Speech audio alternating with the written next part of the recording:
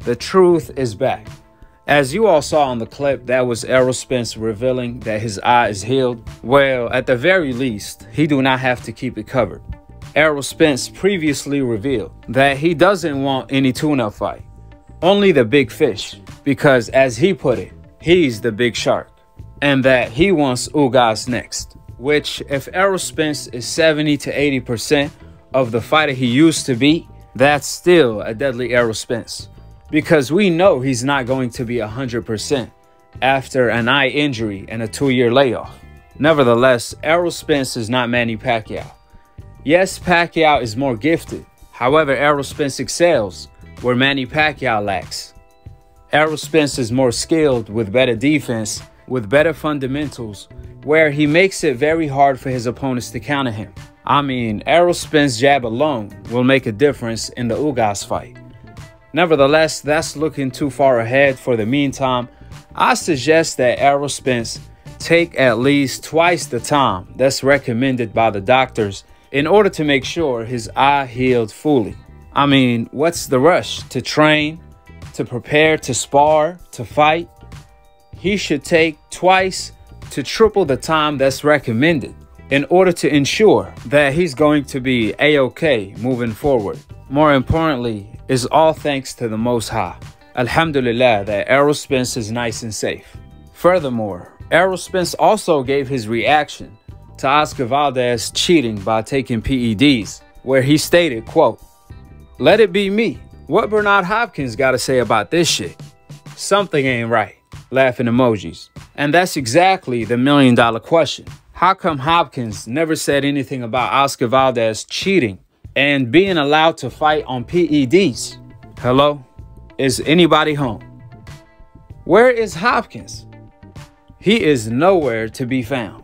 Just like I told you guys on my previous video of Errol Spence responding to Bernard Hopkins, accusing him of faking an eye injury, which I'm gonna leave the link for that video in the comment section below.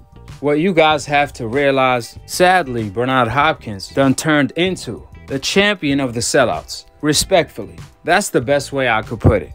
He has a green light on any fighter on the coincidental list, ready to criticize, right or wrong, and a red light, a trespassing zone, on any fighter on the hope list, even if they completely in the wrong, even if they lie, duck, cheat. Hopkins is programmed where in his eyes they can't do no wrong. He's banned to talk about them since their hope insurance is too good.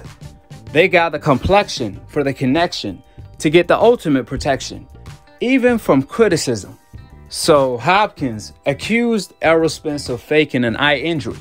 Then Errol Spence provided the proof to ESPN, so on and so forth.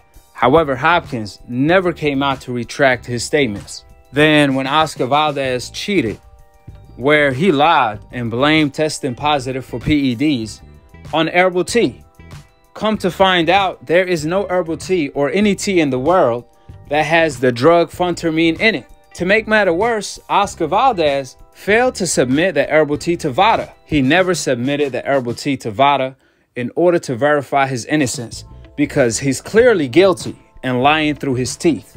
With that being stated, would you believe we're still waiting on Hopkins, the hero of the day, to say something till this day I mean, the double standards are unreal. So you telling me Errol Spence receives an eye injury. Hopkins came out of the mud and accused him of lying, faking an eye injury. Errol Spence then provided proof, but Hopkins never came out and apologized. Then, ironically, when Oscar Valdez clearly cheated and was busted lying with his herbal tea made up story, where he never submitted that herbal tea to VADA, would you believe Hopkins never came out and said anything about Oscar Valdez? In fact, he's as quiet as a church mouse. Even Oscar De La Hoya pulled the COVID card and ended up getting Holyfield knocked out.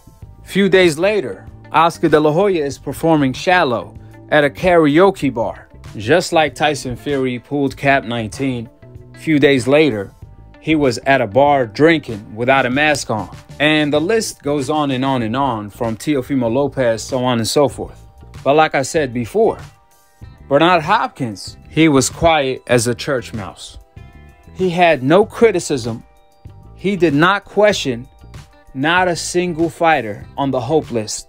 However, the moment a fighter on the coincidental list had an injury, all of a sudden, Bernard Hopkins went from a church mouse to the loudest preacher in the room.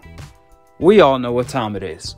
With the facts being laid out, drop your thoughts in the comment section below, subscribe below, and click on the notification bell to be continued on the next episode of AkHi, AkHi, Ak TV. Peace, and I'm on to the next one. What was your thoughts on Hopkins hinting that Errol Spence may be faking an eye injury? I think that I really think nothing about it, but I think that I think that most people make a statement.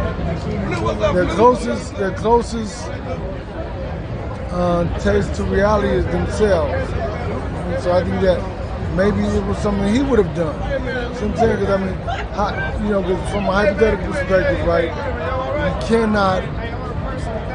I mean, you can say what you want to say, but at the same time, I think that, man, question when you talk about other people, you don't know them, but the assumption is that the closest reference you have to reality is yourself. Meaning right. that maybe that was something that you probably would have did. I mean, I'm not saying he would have or wouldn't. I'm saying that to say that doesn't say anything about Errol Spence. It didn't say more about Bernard Hopkins.